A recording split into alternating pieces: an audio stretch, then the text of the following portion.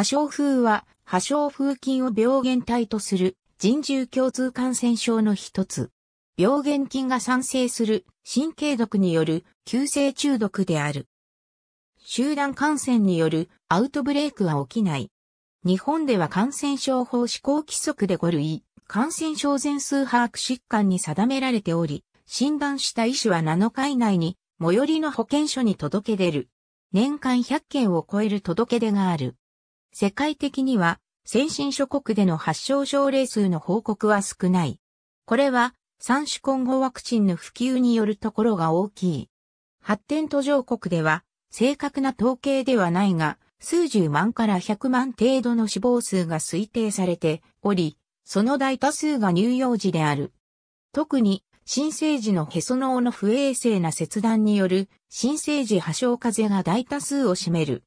また動物においては家畜伝染病予防法上の届け出伝染病であり、対象動物は牛、水牛、鹿、馬である。哺乳類に対する感度が強いが、鳥類は強い抵抗性を持つ。日本では年間、牛で約90件、馬で数件の届け出がある。土壌中に生息する嫌気性生物である破傷風菌が傷口から体内に侵入することで感染を起こす。破傷風菌は画法として自然界の土壌中に世界に広く常在している。多くは自分で気づかない程度の小さな切り傷から感染している。画法は途中で数年間生存する。ワクチンによる抗体レベルが十分でない限り、誰もが感染し発症する。画法は総小部位で発芽し増殖する。新生児の破傷風は衛生管理が不十分な施設での出産の際に新生児の最大の切断面を汚染して発症する。人から人へは感染しないが、呼吸や血圧の管理が可能な集中治療室などで実施することが望ましい。破傷風菌は毒素として神経毒であるテタノスパスミンと溶血毒であるテタノリジンを産生する。テタノスパスミンは脳や脊髄の運動抑制ニューロンに作用し、重症の場合は全身の強直性痙攣を引き起こし、舌を噛んで出血したり、背骨を骨折することもある。この作用基準と毒素は1889から1890年、北里柴三郎により、世界で初めて発見される。破傷風による筋肉の発作で苦しむ人の絵。最悪の場合、背骨が折れることもある。神経毒による症状が激烈である割に、作用範囲が筋肉に止まるため、意識混濁はなく鮮明である場合が多い。このため患者は絶命に至るまで症状に苦しめられ、古来より恐れられる要因となっている。破傷風病気と症状の表は、外傷歴のない破傷風の一例と国立感染症研究所資料より引用し改変。破傷風の死亡率は50%である。成人でも15から60%、新生児に至っては80から90%と効率である。新生児破傷風は生存しても難聴をきたすことがある。治療体制が整っていない地域や戦場では、さらに高い致死率を示す。破傷風発症による発作は、光や音に反応しておき、少しの刺激で痙攣が誘発されるので、刺激を避ける目的で部屋に暗幕を垂らしてできるだけ部屋を暗くしたり、音を遮断した静かな部屋で治療する。破傷風は外傷から筋肉痙攣を起こし死に至る病気として古代から知られていた。古代ギリシャの医師ヒポクラテスが記録に残している。1884年にドイツ帝国のアルトゥール・ニコライアーが土壌中に環状の菌を発見し、その毒素を確認したが、純粋培養はできなかった。1884年に鳥の大学の病理学者、カルレとラットーネが動物実験で破傷風の伝染性を証明した。1891年に北里柴三郎が破傷風菌の純粋培養に成功し、動物実験で菌による発症を確認し、抗体が作られることを確認した。1897年にフランスの獣医師のカールは、高毒素によって人間に免疫が作られることを示した。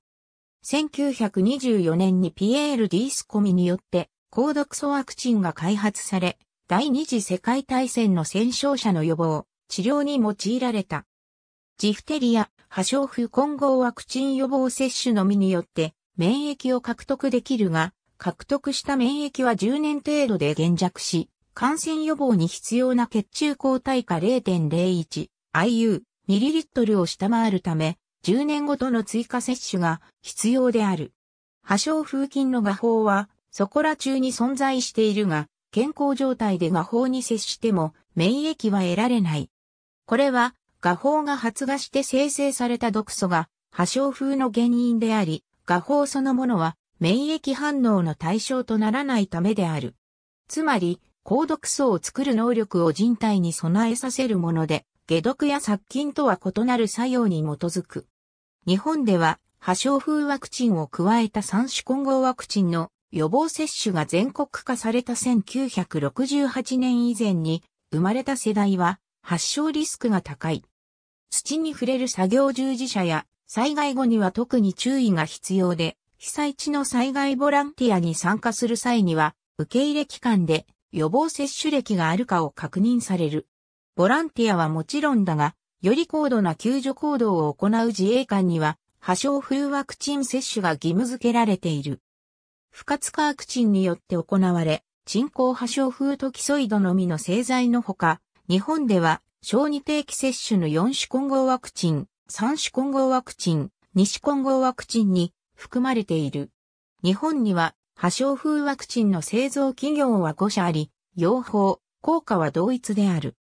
ただし、小児定期接種で1968年以前は、破傷風を含まない DP ワクチンが主に使用され、また1975年から1981年には副作用により DPT ワクチン接種が中断された。このため、その両時期いずれかの接種対象者は、破傷風の予防接種を全く受けていない可能性があるため、母子健康手帳を確認すること。破傷風ワクチンは、世界中度の地域でも1ヶ月以上の滞在には、接種推奨のワクチンである。検疫所に届けられた予防接種実施機関等で海外渡航者向けの優勝予防接種を行っている。予防接種は標準で3回の接種を要する。すなわち、1回目の接種から1ヶ月後に2回目、1年後に3回目の接種を行う。これは、免疫と免疫記憶という高毒素の作用機構に基づくものである。ここで3回目の接種を行うと、基礎免疫が備わり4年から10年ほど免疫が得られる。推奨される投与スケジュール動物交渉、古い釘を踏んで足に刺さった等の外傷後に対して予防接種される。トキソイド 0.5ml を受賞直後1回、1ヶ月後に1回の計2回接種が推奨され、小中学生の行動戦争にはトキソイド 0.5ml を受賞直後1回のみ接種するが、接種局所の強い主張、疼痛の出現が予想されるため、注意が必要である。外傷後感染予防に診療報酬が適用されるのは単価破傷風ワクチンのみでトキソイド以外を接種することはできない。破傷風は人以外にも感染する。馬で最も感受性が高く、鳥類は抵抗性が強い。有名なところでは、1951年に競走馬の時のミノルが無傷の10連勝で東京優勝を制したわずか17日後、破傷風による敗血症により休止したケースがある。当時は人用の不活化ワクチンさえ日本には存在しない時代であり、現在使用されている馬用の破傷風ワクチンも当時は存在していなかった。なお、時のミノルの病状は制裁に記録され、後の破傷風研究に役立てられた。映画、震える下で破傷風の凄惨な闘病が描かれている。森鴎外の短編小説、カズイスチカにも破傷風の患者が出てきて、その激しい症状が描写されている。ありがとうございます。